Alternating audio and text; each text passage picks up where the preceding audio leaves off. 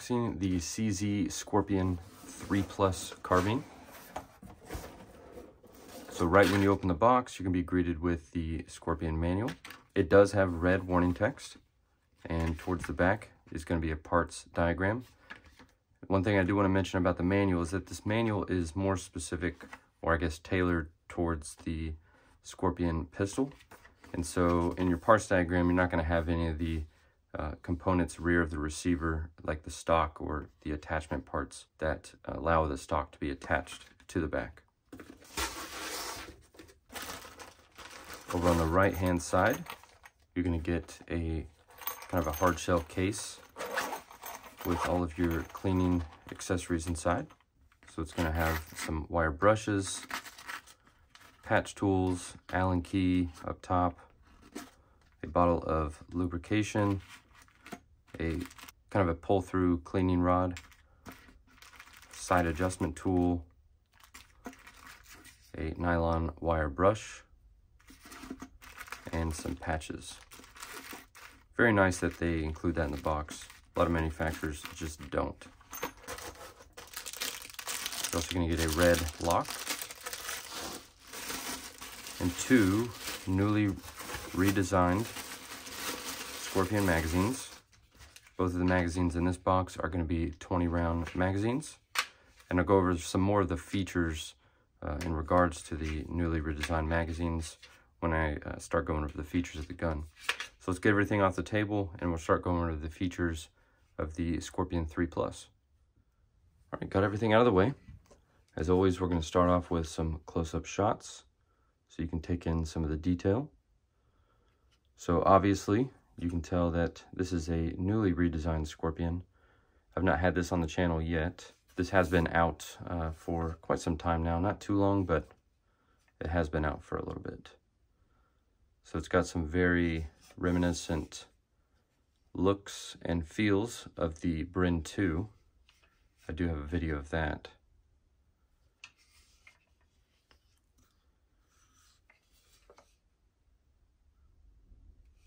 All right, so first up, we'll go over the barrel. So the barrel on the 3 Plus carbine is going to be a 16.3 inch barrel. I could not find, uh, I emailed CZ and attempted to research on what the barrel is constructed of and finished with, but they didn't write me back, nor could I find any info on either of those two things. But it does seem to be nitrided. Like I said, I, I can't be 100% certain there. The end of the barrel is going to be threaded half by 28, and it does include this kind of faux suppressor. And on the end of the faux suppressor seems to be some flash mitigating on the front here. But the end cap does thread off here, and you can thread the faux suppressor off. Next will be the handguard. So very nice design on the handguard here. I really like how they integrated the faux suppressor, the 16 inch barrel, but also at the same time did not really make it look to be 16. So the handguard does extend slightly over that faux suppressor on the front there. But I, I feel like they did a really good job designing the rifle version of this. So on the bottom here, you're gonna have M-LOK slots. There's gonna be six present on the bottom, three on the left and right hand sides. And then you're gonna have Picatinny rail across the top and that's seamless integrating into the upper receiver there. There's also going to be a small cutout here to allow you to go ahead and pull the charging handle. And that is going to be present on both sides because the charging handle is reversible to the other side. And the handguard is going to be constructed of fiber reinforced polymer. Moving on back to the upper and lower receivers. Like the handguard, these are also going to be constructed of fiber reinforced polymer. And like I said, it does have an updated design to closely resemble the Bren and the way that it looks to include the grip and grip angle. The lower receiver is also going to feature a flared magazine well. I'll go ahead and show you how the magazines look when they're inserted and how easy they are. Very easy insertion right there. And they, they really fly out. I mean, I've got the gun sideways and it just flies right out of there. So one of the biggest gripes that I had personally and that you'll find all over the internet in regards to the Scorpion, at least the previous model, is the grip design, grip angle, everything in regards to the grip, everybody uh, almost immediately changes it out. So they completely redesigned the grip here, and I'd say this is a huge win for CZ as far as the newly redesigned one. Very comfortable in the hand. Not super grippy, but just grippy enough, at least for a rifle style platform. Also, discussing the grip, the grip is adjustable for reaching the trigger. So you can move it back and forwards by undoing this Allen key here. You can move the grip forward and back and then tighten it back down. So let's go back to the magazines. So like I said, these are both 20 round magazines and these are newly redesigned for the Scorpion 3 Plus. So the magazines included for the 3 Plus are backwards compatible with your older model Scorpions. However, the older model Scorpion magazines are not compatible with the new 3 Plus platform. So you can see they've added some kind of texturing there, different base plates, both of them have the CZ logo and CZ USA printed on the bottom. They both have black followers. So it is kind of disappointing that these were kind of designed specifically for this and they didn't implement anything to uh, make the older magazines more backwards compatible with the new ones, but it's uh, not a huge deal, especially if these are more reliable. These are also available in 10 and 30 round capacities. And the third party market seems to have adopted the 3 Plus pretty quickly, so you can find tons of parts to include uh, Magpul magazines that are 35 round capacity. So back over to the gun. Next, we're going to discuss the stock. So one thing I do want to mention uh, in regards to this specific Scorpion that I received, uh, it was missing the roll pin that you can see right there. So what that was basically allowing me to do was when I would want to adjust the stock, I could rip the whole back end off. I'm not sure if that was an oversight or maybe that's just because of regulation or whatever, uh, but that roll pin was missing. So I did some research and found that it was just a standard size roll pin that I had laying around. So I went ahead and installed that. What that basically does is it stops the stock from being able to be pulled out all the way. So the stock does have three positions. So position one, position two, and position three right there. And you can see the recessed notches right there where it clicks into place. The stock is also foldable via this button here.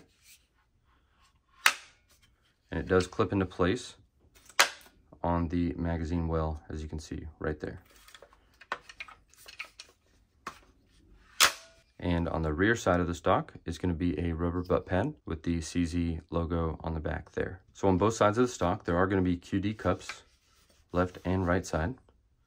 And then also on the stock attachment point is going to be a QD cup as well. One thing I do want to test in regards to the QD cups is whether or not they are anti-rotational. So these are free spinning QD cups, at least on the stock attachment on the stock itself. These are also free spinning. And the other QD cup is also free spinning as well. I would have liked to have seen the stops put in place for those, but uh, I guess you can't get everything you'd like in every platform. Next, we will go over the iron sights or backup sights. So these are also slightly redesigned, but not uh, completely redesigned. So they do feature a little bit more height. Uh, that was also a complaint that I did see. These are one-third co-witness uh, for reaching standard red dot optic sights. And they're also milled out of aluminum. And the rear sight is going to feature four different aperture sizes. Let's see if I can get a picture of that here. So there's one. There's the very big one. Smaller one medium size and back to the beginning. And the front sight is just your standard single notch sight and it's adjustable very much like an AR. And both of the sights are hooded uh, and protected. And the rear one is installed via two hex key bolts and the front one is one hex key bolt. Next we'll go over the controls. This is one thing I really like about the uh, Scorpion is the just inclusion of ambidextrous controls. and they also added in a feature that I think is really cool, and that's the bolt hold and bolt release. So down here by the magwell, they got rid of the paddle mag release. So this is going to be your new bolt hold and bolt release. So as you pull the charging handle to the rear, you can press up and it's going to hold the bolt to the rear.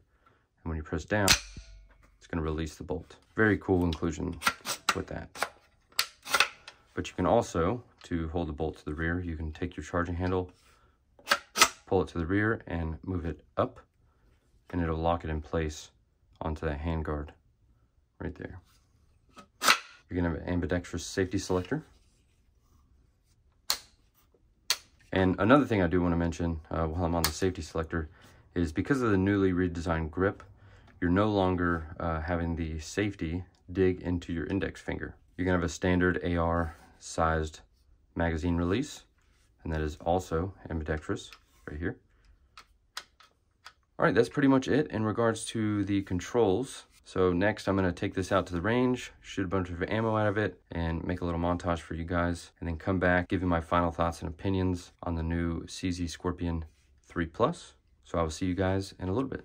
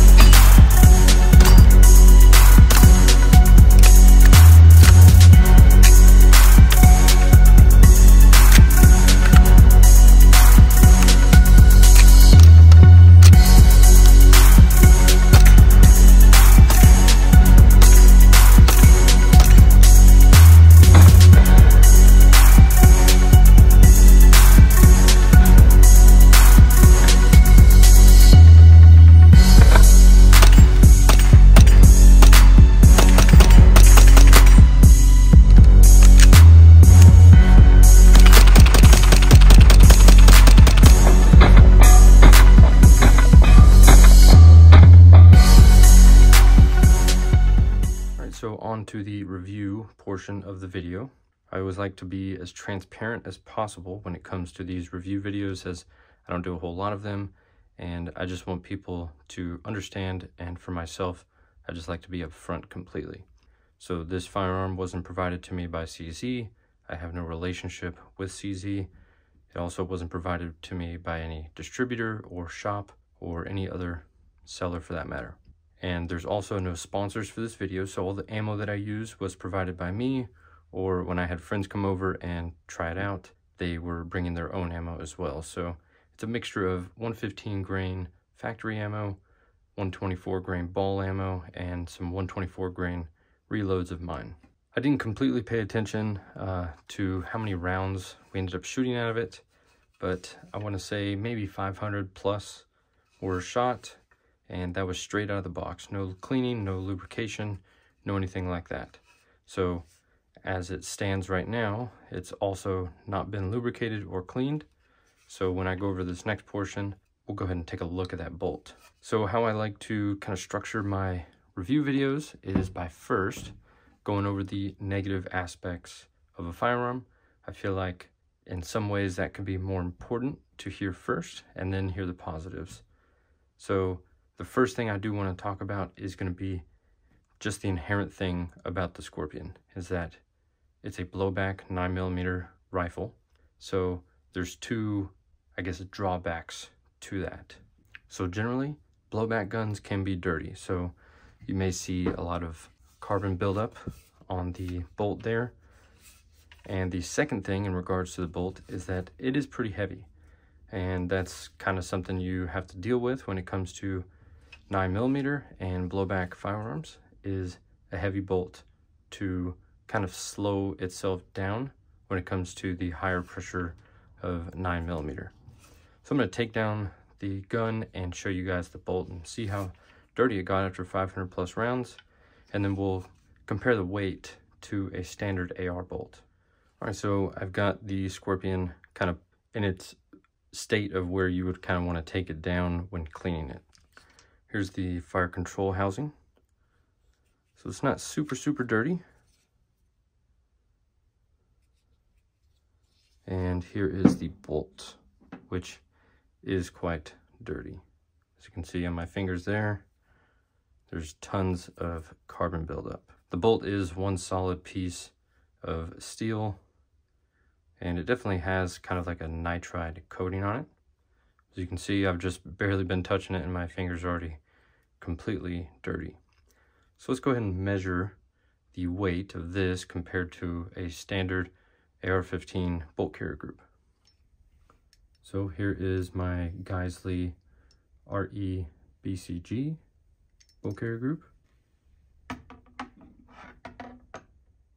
So that comes in right at 11.6 ounces. And here is the CZ Scorpion bolt. That's at one pound, 6.1 ounces. So like I said, it is significantly heavier. So again, that's one of the negatives when it comes to a nine millimeter blowback gun. Let's get this back together and I'll go over the final two negative points that I'd like to make and then move on over to the positives. All right, so this next point I'd like to make could be seen as a positive for some people, uh, but for me personally, I'm I kind of like simplicity in my firearms, and that deals with the multiple ways that you can drop the bolt slash charge the Scorpion. It kind of reminds me of the amount of ways that you can eject magazines on the Flux Defense Raider. There's like three or four different ways to drop a magazine and uh, load up another one or however it's done. But I do think one way of accomplishing something is kind of a nice way to train to a firearm as opposed to having three different ways. So I, like I demonstrated in the shooting footage, you can charge it by pulling the charging handle back and just letting it go. You can lock the charging handle up like this and you can kind of HK slap it or you can pull the charging handle to the rear, press up right there. And you can do this on this side as well as on the other side. And you push down to release the bolt. I can see that some people would view that as a positive for redundancy measures, but I just kind of like one way to do something similar to the MP5. There's only one way to charge the weapon, and that's kind of how they left it. And lastly, when it comes to the negatives, I don't like the inclusion of two 20 round magazines. I don't understand why the pistol version comes with two 30 round magazines. I think maybe it should be the other way around. It is a much smaller platform with the pistol version and maybe they should include 30 rounders with the rifle and 20 with the pistol or just put 30 rounders in both of them. I think uh, 20 rounds, uh, while some people may like the smaller form factor. That's why I kind of mentioned that I think the 20 rounders should be included with the pistol version. But that's pretty much it when it comes to my negatives. Now let's move on over to the positives. So I know I said I didn't like the multiple ways that you can charge and drop the bolt on the Scorpion. One thing I do like is that this entire platform is essentially ambidextrous. Um, so you're gonna have an ambi magazine release on both sides, ambi bolt stop and bolt release, and an ambi safety selector. Are moving to ambidextrous controls. I almost forgot to mention it, but you can also switch the charging handle over to the other side. You can also even run double charging handles if you really like to do that. One of the most positive things that myself, as well as many other YouTube reviewers, and many people I've seen talk about is the changes when it comes to the grip and safety selector position.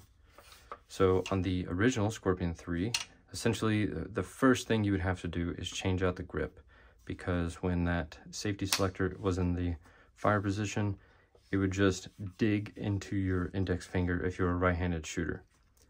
No longer is that present on the Scorpion 3 Plus, as they've completely mitigated any touching of the safety selector on your index finger. The newly designed grip is way more ergonomic and I would say it doesn't really even need an upgrade, but you can upgrade it if you so choose. The Slight grip texture and very nice angle of that grip lends to a much more pleasant shooting experience as compared to the older Scorpion model. So one thing I have to commend CZ on is their ability to design a nice looking rifle within the confines of what a US legal rifle is. So if you've got a stock and you market this as a rifle, it has to have a 16 inch barrel. So I think they did a really good job integrating the handguard with the faux suppressor all in a package with a 16 inch barrel. I like how they kind of tucked the faux suppressor inside of the handguard there. The other thing I like is that this handguard isn't ridiculously long and it's also not super short either. So in summary, I really enjoy shooting this, mainly from the perspective of it's not an AR-15. The AR-15 is probably one of my favorite rifles to shoot for many reasons. It's soft shooting, easy to maintain, easy to clean, parts availability, so on and so forth.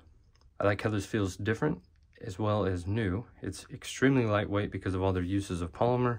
It's pretty easy to get past the negative points in regards to the multiple, multiple ways to charge and drop the bolt by just sticking with one. So I do recommend if this is something not in your collection and you're looking to add something that's not standard to your collection, I would recommend something like this. I think it's a great platform to get into. The aftermarket is huge, even with this new version.